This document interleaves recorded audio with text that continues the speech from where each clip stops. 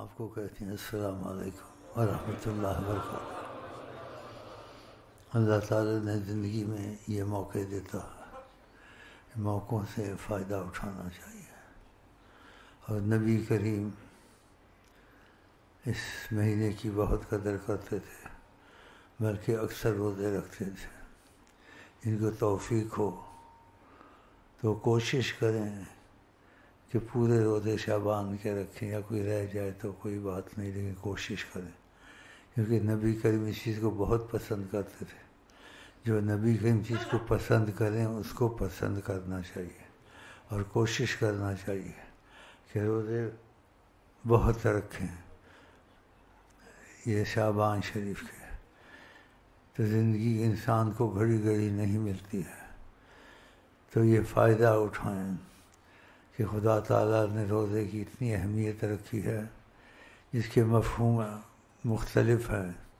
ایک مفہوم خدا نے روزے کا جو فجر دیتا ہے، اور روزے روزوں میں فرق ہوتا ہے۔ جو یہ تہوار میں ایسے آتے ہیں، جو اس کے علاوہ ہوتے ہیں، فرق ہوتا ہے، بہت ہوتا ہے۔ تو روزوں کے متعلق یہ بھی اللہ تعالیٰ کا ایک حدیث کا مفہوم ہے۔ جو روزے رکھتا ہے، اس کا نہیں پتا اس کو کیا ملے گا۔ اس میں یہ مفہوم بتایا ان اجزی بھی میں خود اس کو ملوں گا۔ اللہ!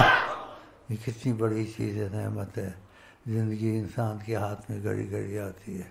اور پھر ہمیشہ کے لیے تم کو اس کی سعادت اور خدا تعالیٰ کی رضا نبی کی رضا نصیب ہوگی۔ تو یہ کوشش کریں اور روزے سے کوئی صحت کا نقصان نہیں ہوتا۔ تھوڑی دیر کا صبر فائدے ہمیشہ کے لیے۔ تو کوشش کریں دل سے کہ آپ پھر روزے پورے رکھیں، کوئی رہ جائے تو دور بات ہے، لیکن آقا جی نے اس چیز کو بہت پسند کیا، خود رکھتے تھے۔ ان کے وقت میں اتنی سہولتیں نہیں تھیں یہ ٹھنڈے پانی یہ اے سی ہیں یہ خوراکیں نہیں تھیں، یا کھجور مل جاتی تھی، یا یہ مل جاتا تھا، وہ بھی نہیں ملتی تھی۔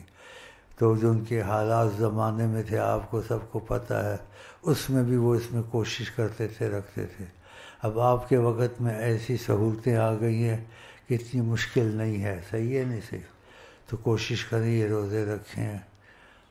پھر رمضان شریف آئے گا، اس میں بھی اللہ کرم کرے گا۔